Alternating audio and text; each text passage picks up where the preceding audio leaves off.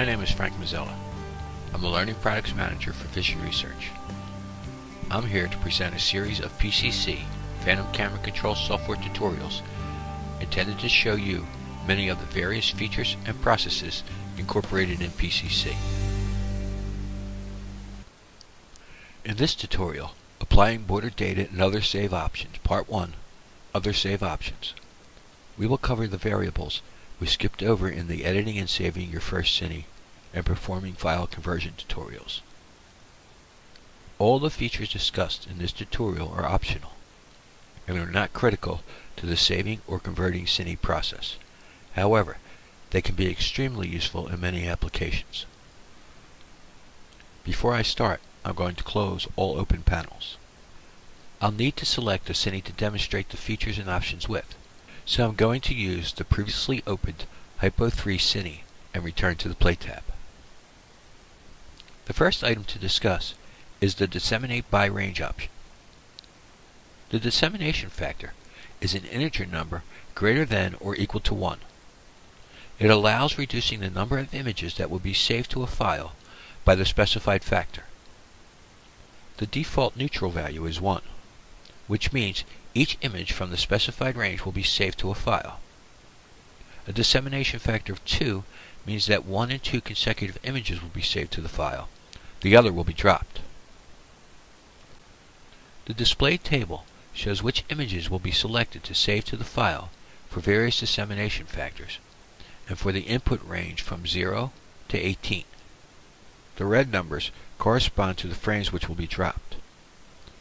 For example, if using the decimation factor 3, the images that will be saved to the file will be images with numbers 0, 3, 6, 9, 12, 15, and 18. Since consecutive Cine images are always identified by consecutive image numbers, the same rule must be obeyed by the decimate files. For non-neutral decimation factors, some images will be dropped during the save file operation. Therefore, a new method of numbering the images must be employed. The basic rule is that numbering begins with input image 0, which corresponds to the output image 0. The first input image to the right of image 0 selected, considering the decimation factor, will be assigned image number 1. The second input image to the right of image 0 selected, considering the decimation factor, will have the number 2. Similarly, the images before or to the left of image 0 selected, considering the dissemination factor, will be assigned negative 1, negative 2, and so on. This table illustrates how the destination file images will be numbered from 0 until it reaches the input saved range. I'm going to leave this at its neutral default value of 1. Let's move over to the save options we haven't talked about, including border data.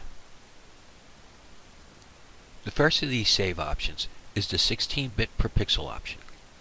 This feature instructs PCC to save the images from cines recorded with a bit depth greater than 8 bits with the bit depth they were recorded at. By default, this feature will be enabled or checked automatically when the bit depth option is set to greater than 8 bits. We will cover the bit depth feature in the Using Bit Depth video tutorial. Not all file formats support bit depths greater than 8 bits.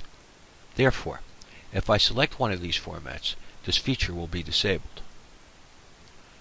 The split quarters and multi-head features were applicable for the legacy Phantom V6 series cameras only and are presently disabled. The XML header feature, when enabled or checked, is used to create an XML file, which can be a source of data for other applications describing the header along with the Cine image information. The Packed feature instructs PCC to save Cines from any of the Phantom camera models, a Phantom Cine Mag, Phantom Cine Flash, or a 10 gigabit connected camera in a packed raw Cine file format when enabled or checked. At the time of this video production, the Wave Audio File feature is only applicable with Phantom Flex 4K camera models. When enabled or checked, an audio wave file will be saved along with the raw PAC 10-bit Cine file by default or ProRes HQ 10-bit Cine files, which require a Phantom CineMag 4 to record to.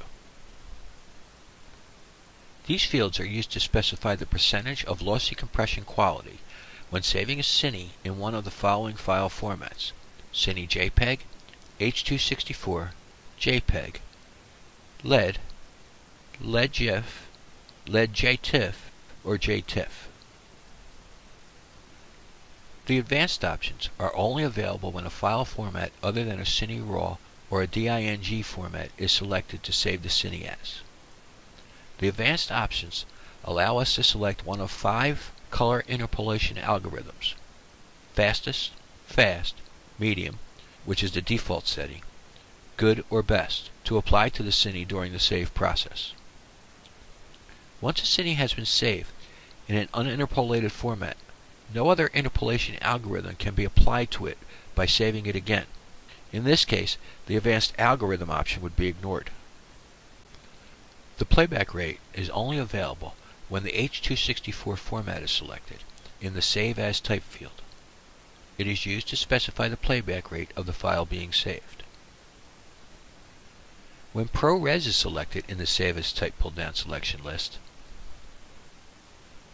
PCC allows us to select the Apple ProRes format to save the files as including Apple ProRes 422 HQ, Apple ProRes 422, Apple ProRes 422 LT, Apple ProRes 422 Proxy, and Apple ProRes 4444.